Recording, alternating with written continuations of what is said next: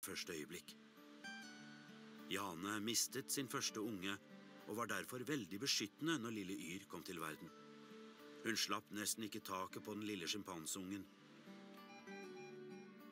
Men når Yr ble alvorlig syk, hadde ikke dyrepasserne noe valg. Og de måtte skille mor og barn.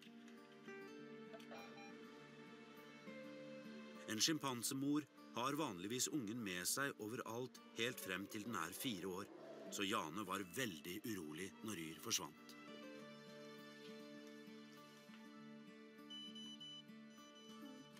Yr var i gode hender, men lenge var det usikkert om hun skulle overleve. Jeg har kjent henne siden hun var nyfødt.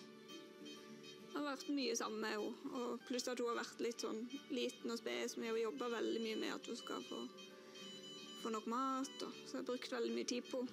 Så derfor, derfor har jeg blitt veldig glad i henne, da.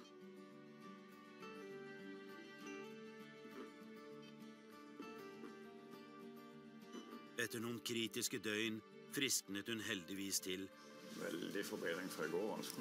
Helt utrolig. og endelig skulle hun få komme tilbake til mamma Jane.